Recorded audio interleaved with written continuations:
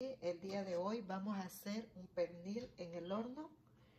Para esta Navidad lo pueden preparar y bueno, yo puse estos pernil con limón primero y miren cómo le está saliendo esto. Así que los vamos a enjuagar otra vez.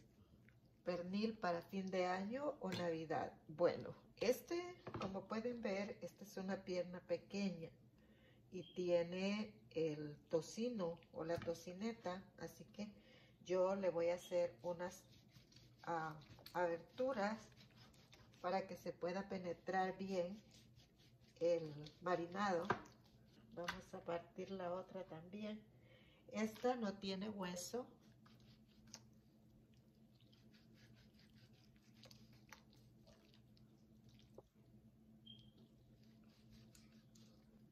Mira, que la tenemos bien partida, vamos a preparar el marinado. En este recipiente vamos a colocar 12 dientes de ajo. vamos a exprimir limón la mitad de este limón amarillo.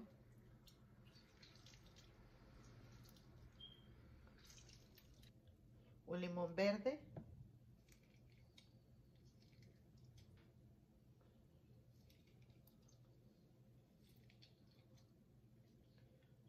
Una taza de jugo de piña. Orégano. Una cucharada comino, una cucharada, pimienta negra,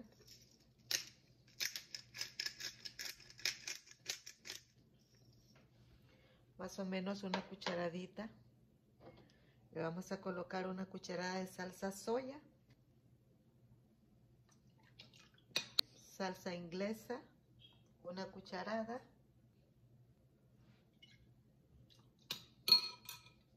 sal, una cucharada de sal, media taza de agua y lo vamos a licuar.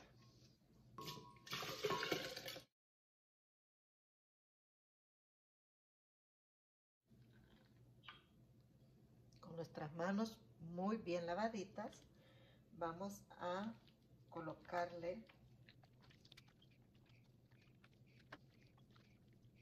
a colocar sal encima.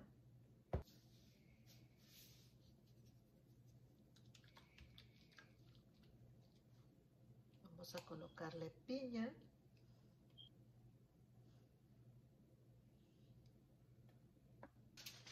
Vamos a cubrir, lo vamos a dejar marinar.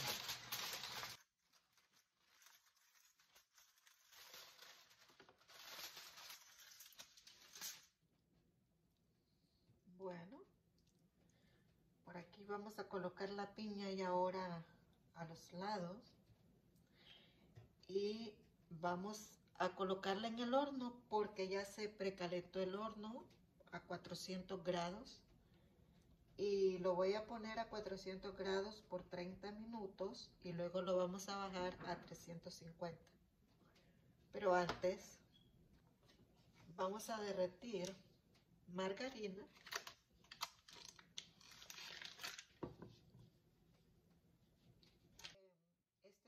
para darle color, más o menos dos cucharadas.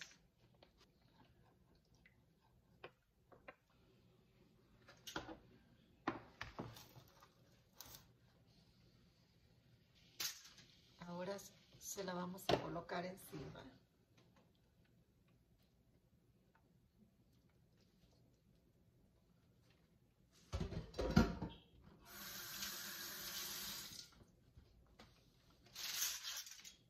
lo vamos a cubrir, lo vamos a dejar a, a 400 grados por 30 minutos. Luego lo vamos a bajar el horno a 350 y lo vamos a dejar ahí horneando por 3 horas.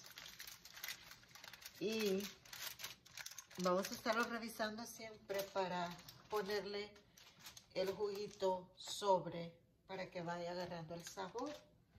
Así que no se me vayan a ir para que vean el resultado. Vamos al horno. Bien amigos, después de tres horas en el horno, cada 20 minutos eh, colocándole el jugo eh, que tenía allí en su, en su recipiente, echándole encima cada 20 minutos ese jugo para que la carne quede con rico sabor. Y miren, así ha quedado esta rica pierna de cerdo o de puerco o marrano, como tú le quieras llamar, para disfrutarla en la noche de Navidad o de Año Nuevo. Bueno, en cualquier ocasión, pero está súper deliciosa. Así que muchísimas gracias por haberte quedado conmigo hasta el final. Espero que les guste. Es una manera sencilla, es la manera como yo la preparo. Y bueno, déjame tu comentario cómo tú preparas la pierna de puerco si ya lo has hecho, ¿ok? Bendiciones. Bye bye.